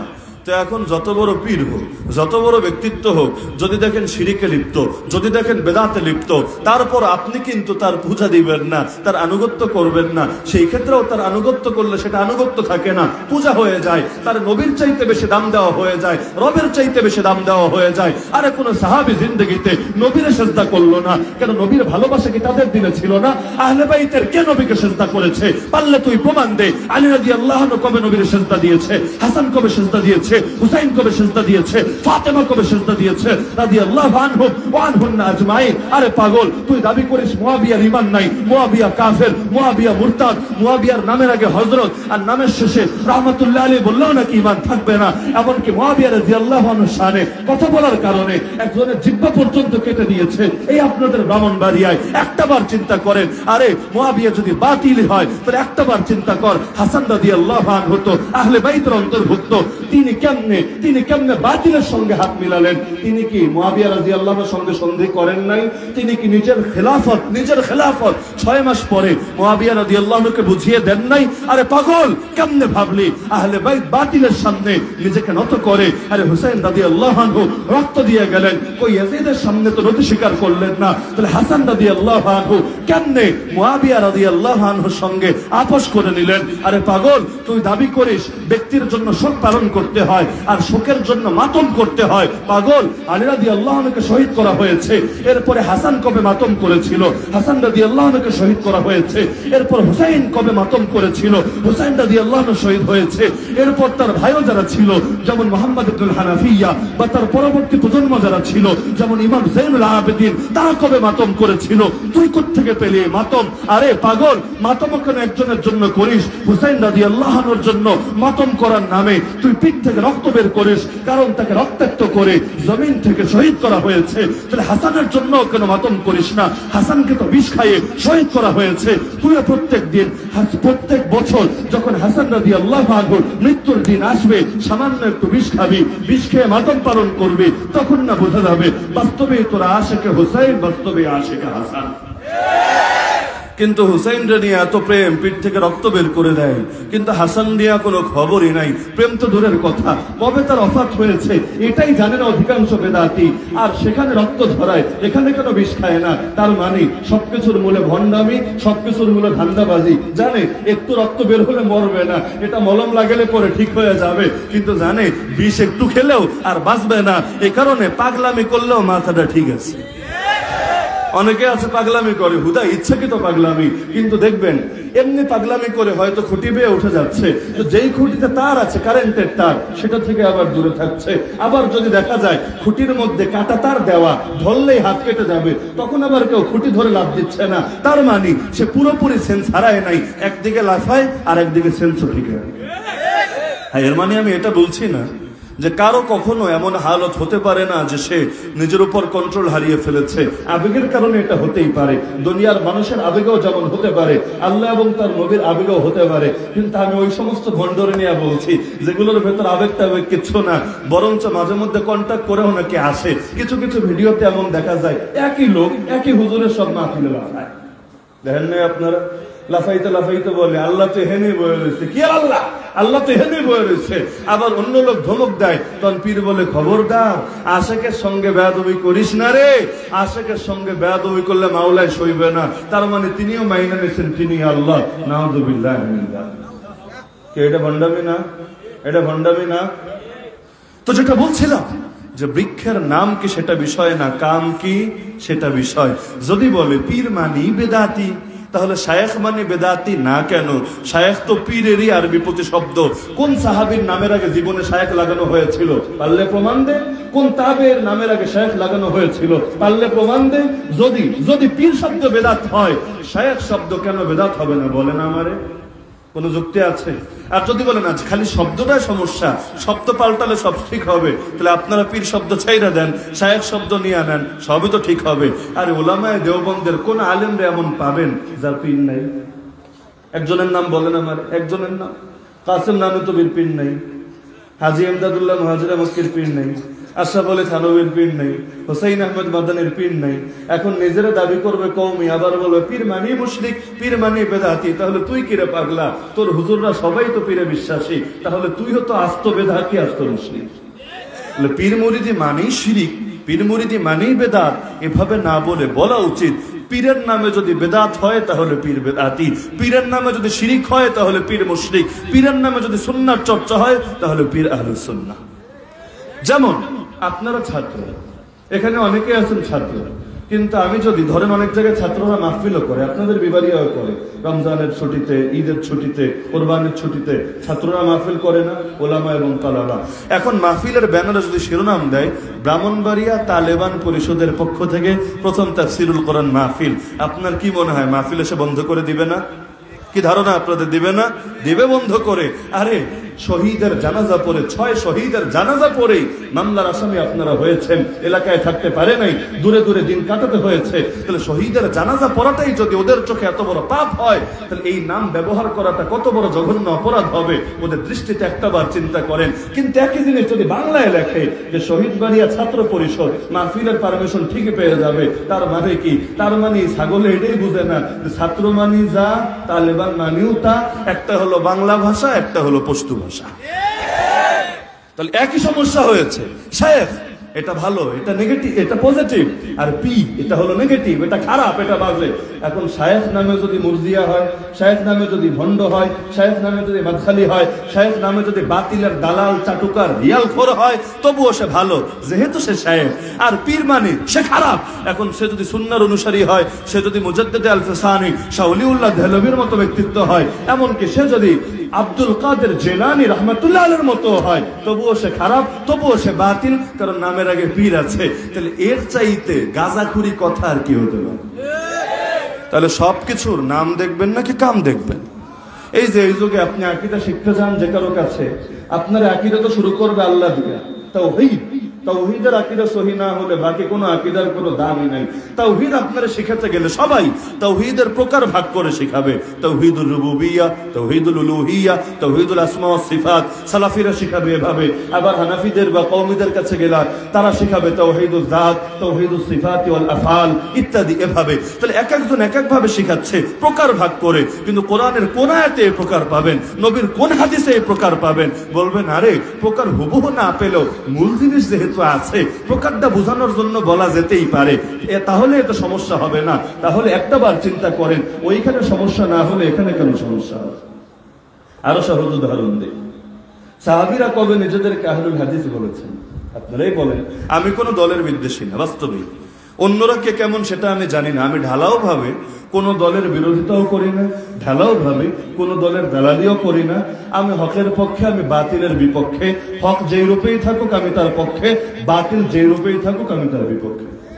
হিজবুত তৌহিদ নামটা শুনলে দিলটা জুড়ায়া যায় মনে হয়, তৌহিদের দল। কিন্তু আমি এই দলের বিপক্ষে, বলবেন কেন, তৌহিদের দলের বিপক্ষে কেন আপনি? কারণ ওই যে আগে মূলনীতি বললাম, আমি নাম দেহি না, আমি কাম দেহি। নামটা কত সুন্দর, এটা দেখব না। আমি তো বিরিখর সেলিম আর পন্নিরে দেখব। ওদেরকে দেখে তো আমার দিল আশ্বস্ত হবে না। আর ওদের ভুলভাল ফতোয়ার সঙ্গেও জিন্দগিতে আমি একমত হতে পারব না। সুতরাং আমি তো দেখব, মূল আদর্শ কি? মূল আদর্শ যদি খারাপ থাকে, আর নামটা আহমদি মুসলিম জামাত, এত সুন্দর নাম থাকে তবু আমরা বলব, তোরা আস্ত কাফের আর দাজ্জাল ছাড়া কিছু না। মুসলিম জামাত ছিলেন তো? কারা? কারা? কাদিয়ানি। কাদিয়ানিরাও নামাজ পড়ে নামাজ পড়ে পড়ে কপালে দাগ ফেলে দেয়। মসজিদ তো আছে, বাংলাদেশে বহুত, মাদ্রাসাও আছে, বহুত কিছুই আছে। তো যুগের আল্লাহর আলী মানবেন না? যুগের হাসান বসরি মানবেন? কি বলবেন, মুসলমান না কাফের? মুসলমান না কাফের। আরে ওরা যে কাফের, এই ফতোয়া দিতে মুফতি হওয়া লাগে না। এই ফতোয়া আমাদের ছোট ছোট বাচ্চারাও দিতে পারবে। কারণ যেই মাসালার ব্যাপারে হকপন্থী আলেমদের মধ্যে দ্বিমত থাকে না, সেই মাসালা বলতে মুফতি হওয়া লাগে না। পাঁচ ওয়াক্ত নামাজ ফরজ, এটা বলতে মুফতি হওয়া লাগবে। রমজানের রোজা রাখা ফরজ, এটা বলতে মুফতি হওয়া লাগবে। আহলু সুন্নাতুল জামাত মুক্তিপ্রাপ্ত দল বলতে মুফতি হওয়া লাগবে। একই ভাবে একই ভাবে কাদিয়ানিরা কাফের, এটা বলতে মুফতি হওয়া লাগবে। তো পীর মুরিদে মানেই বেদাতি বলেন না, মানেই বেদাতি বরং দেখতে হবে তার আদর্শ কি। আদর্শ যদি হয় বেদাত, তাহলে সে বেদাতি। আদর্শ যদি হয় শিরিক, তাহলে সে মুশরিক। সব পীর বাংলাদেশের বেদাতি না, অনেক পীর মুশরিকও বটে। কি সন্দেহ আছে আপনাদের? অনেক পীর মুশরিকও আছে এই দেশে, যাদের জানাজা পড়াও জায়েজ নাই, হারাম। যাদের অনুসারীদেরকে সালাম দেওয়া জায়েজ নেই, হারাম। কারণ তারা এমন এমন আকিদায় বিশ্বাসী যে আকিদা কেউ পোষণ করলে তারা মুসলমান বলা যায় না। তাকে কেউ জেনে বুঝে মুসলমান বললে সেও আর মুসলমান থাকে না। তো সব ক্ষেত্রে এই মূলনীতিটা মাথায় রাখবেন। আলী রাদি আল্লাহ নাম শুনেছেন সকলে? তিনি বলেছেন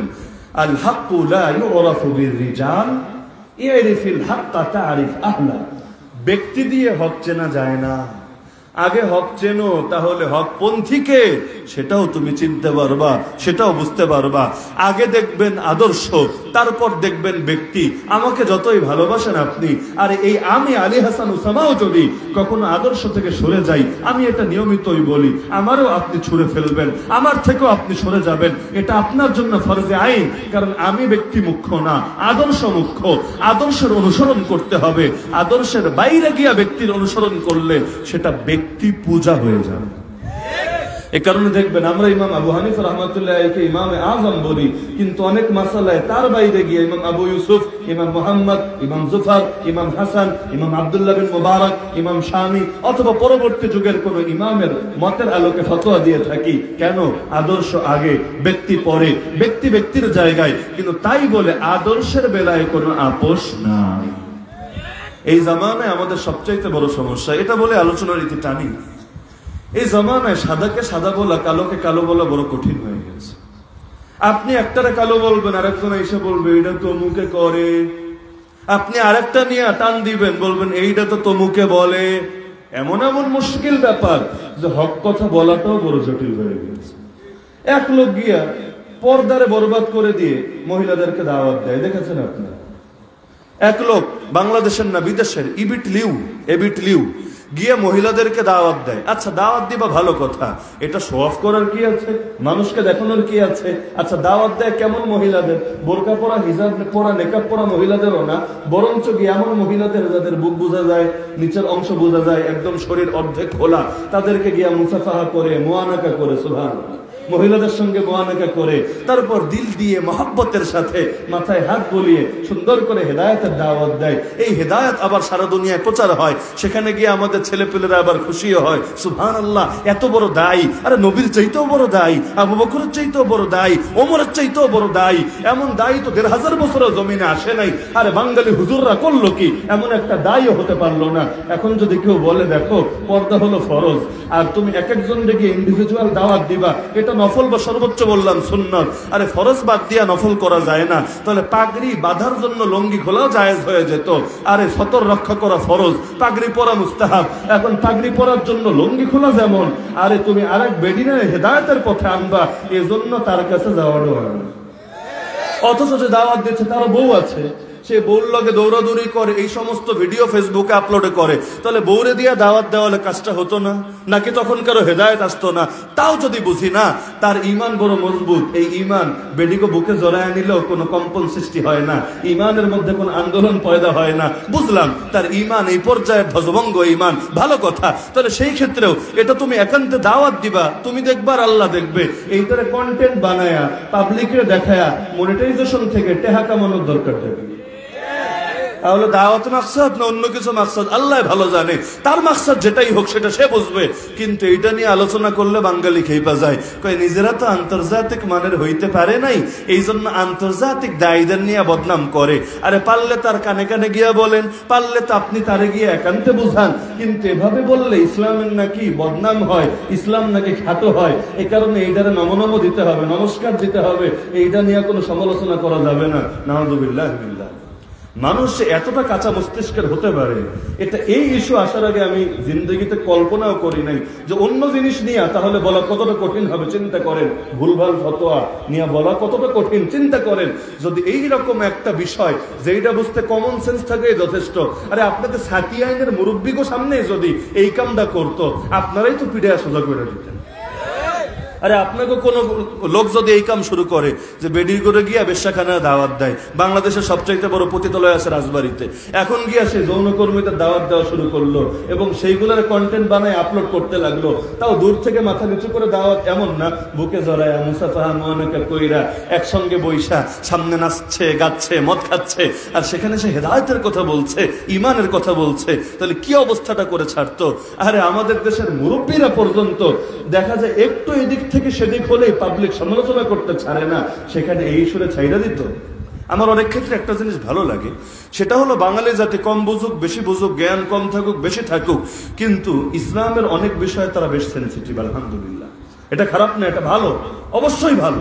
দেখবেন যে নামাজ পড়ে না, সেও যদি শোনে, মসজিদ ভাঙতে কেউ এসে হাজির হয়েছে, সেও যদি শোনে আল্লাহ নবী শানে কেউ গুস্তাখি করেছে, তারাও জানে প্রতিবাদের ভাষা কেমন হতে হয়, তারাও জানে এই সমস্ত শয়তান আর ইবলিসরে কেমনে সোজা করতে হয়। তো এই সমস্ত কারণে আমরা এখনও আশা রাখি, আলহামদুলিল্লাহ আলহামদুলিল্লাহ, যেভাবে কোরবানি এই জাতি দিয়ে যাচ্ছে অনেক অন্ধকারের ভিড়েও আশার আলোগুলো যেভাবে জ্বলছে, সেদিন বেশি দূরে না। যেদিন ইনশা আল্লাহ গোটা হিন্দুস্তান ইসলামের পূর্ণময় ভূমিতে পরিণত হবে, আমাদের হারানো সম্পদ আবার আমাদের কাছে ফিরে আসবে। একশো, দুইশো বছর তো না, আটশো বছর পর্যন্ত হেদায়তের আলো আমরা জ্বালিয়েছিলাম এখানে। আমাদের গাফলতিতে এখন অন্ধকারের আলোগুলো জ্বলছে এখানে। আশা করি আল্লাহর উপরই ভরসা রাখি ইনশা আল্লাহ শীঘ্রই আমরা আবারও আলো দেখতে পারব। মুসলমানদের উপর দিয়ে বড় কষ্ট কষ্ট যাচ্ছে, কিন্তু ব্যথা মানেই খারাপ না। সব ব্যথা ধ্বংসের জন্য হয় না। কোনো কোনো ব্যথা নতুন সৃষ্টির জন্য হয়। যেমন নারীদের বেদনা ওঠে, বড় কঠিন বেদনা। সেটা ধ্বংসের বেদনা না, প্রসব বেদনা। প্রসব বেদনা দ্বারা পৃথিবীর মধ্যে আরেকটা নতুন হাসি, পৃথিবীর মধ্যে নতুন প্রাণের অস্তিত্ব পাওয়া যায়। মুসলমানদের উপর দিয়েও বড় কষ্ট যাচ্ছে। রাতের অন্ধকার বড় প্রচণ্ড আকার ধারণ করেছে। কিন্তু দিল সাক্ষ্য দেয় ইনশা আল্লাহ শীঘ্রই শুভে সাদিক উদিত হবে। আবার জমিনটা আলোয় আলোকিত হয়ে যাবে। আবার এই বেদনা, সৃষ্টির বেদনা হিসাবে আমাদের সামনে আবির্ভূত হবে ইনশাআল্লাহ। যদি এমনই হয়, ইনশাআল্লাহ আপনারাই হবেন যুগের বেলাল। আপনারাই হবেন যুগের সুমাইয়া। আপনারাই হবেন যুগের খুবাইব, যুগের খাব্বাব। আরে সবাইকে খালেদ বিন ওয়ালিদ হবে। কিছু লোকরে বেলাল হওয়া লাগবে। বেলাল যদি কেউই না হয়, জমিনের মধ্যে কাদের কোরবানের বদৌলতে ইসলামের পতাকা জমিনের মধ্যে সমুন্নত হবে? এ কারণে আল্লাহর সঙ্গে বায়াতবদ্ধ হবে না আল্লাহ। তোমার দিনের জন্য যদি খালেদ বিন ওয়ালিদ হওয়া লাগে, তোমাকে সাক্ষী রেখে বললাম, আমি খালেদ বিন ওয়ালিদ হতে রাজি আছি। আর তোমার দিনের জন্য যদি বেলাল হওয়া লাগে, আল্লাহ তুমি সাক্ষী থাকো, আমি বেলাল হতেও রাজি আছি। রাজি আছেন না আপনারা? রাজি আছেন না আপনারা? এ কারণে দেখবেন, যেই সমস্ত ওলামায় কেরাম সবার সামনে থেকে ময়দানে নেতৃত্ব দেন, আলহামদুলিল্লাহ, যখন বেলাল হওয়া লাগে, তখনও পিছায়া থাকেন না, তখনও সবার চাইতে বেশি কোরবানি তারা দিয়ে যান। এই সমস্ত কারণে কখনো ধোকা খাবেন না যে আমার জান্ডারে বাঁচাইতে হইব, আল্লাহর দিন যেমন যায় জাগ্গা আর জান্ডারে যদি দিনের জন্য কোরবানি দিতে পারেন, এটাই সম্বল হয়ে থাকবে, ইনশা আল্লাহ। তো এই গুজারিশ রাখছি। লাস্টে একটা মিনিট যা সময় নিচ্ছে আপনাদের থেকে। সেটা হলো, আপনারা তো মসজিদের খেদমতে সকলে শরিক হয়েছেন। একটা হাদিস আমি এখানে শোনাই। মান বানা লিল্লাহি মসজিদা, যে আল্লাহর জন্য জমিনে একটা মসজিদ বানাবে, বানাল্লাহু লাহু বাইতান ফিল জান্না আল্লাহ জান্নাতে তার জন্য ঘর বানিয়ে দিবেন। তো এই মসজিদ বানানোর কাছে শরিক থাকা, এটা প্রত্যেকের জন্য বড় সৌভাগ্যের বিষয়। আপনি বানাবেন আল্লাহর ঘর, আল্লাহ বানাবে আপনার ঘর। আপনি আল্লাহর ঘর বানাবেন জমিনে, আল্লাহ আপনার ঘর বানাবেন জান্নাতে। তাহলে এই খেদমত সকলেই শরিক থাকতে চান কিনা? দোয়া হয়ে যাবে এই কারণে কেউ এখন না উঠি। এটা মসজিদের সামনে এক ধরনের খারাপ দেখা যায়। যারা ওঠে তাদেরকে বসায় দেন। আলোচনার সময় উঠলে আমি কিছু বলি না, কিন্তু এই টাইমে ওঠাটা আমার কাছে সুন্দর লাগছে না।